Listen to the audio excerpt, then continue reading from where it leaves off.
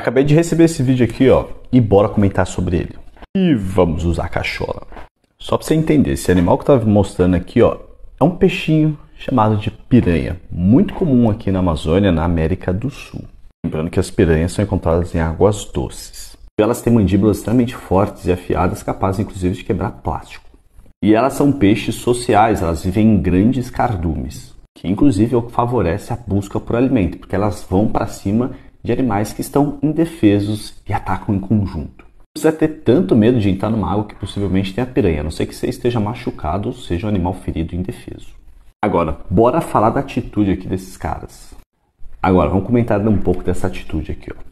Ao ela cortar esse plástico, pode ser que ela esteja ingerindo sim uma certa quantidade. Lembrando que plástico é tóxico. E se esse animal vai ser vendido para consumo, vai ser ruim para o ser humano também, porque parece muito que isso aqui ó, é um tanque-rede. E para quem não sabe, um tanque-rede é um tanque de criação de peixes feito dentro do ambiente aquático mesmo, dentro do ambiente natural.